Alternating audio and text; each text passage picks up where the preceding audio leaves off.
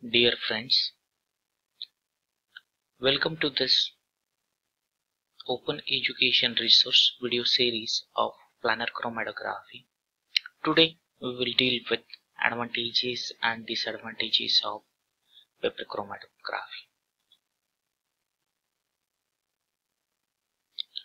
Why paper to be used?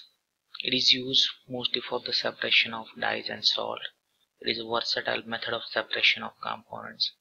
Identification of unknowns by comparison with reference samples and there is no restriction of sample type.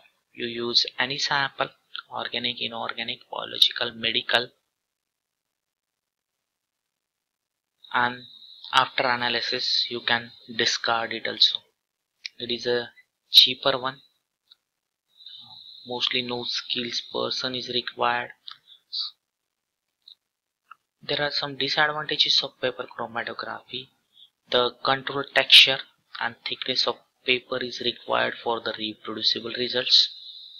Variation in water content of paper moisture must be carefully controlled in its manufacture storage and use to obtain the reproducible results. The physical orientation of channels in manufacturing to be maintained. Some hydroxyl groups of glucose molecules oxidize to aldehydes and ketones and carboxylic acids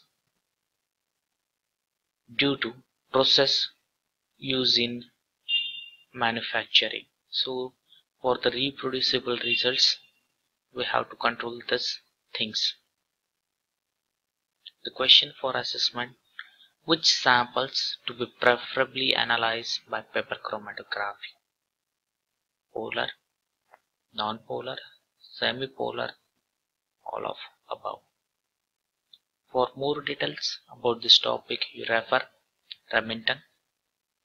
Thank you.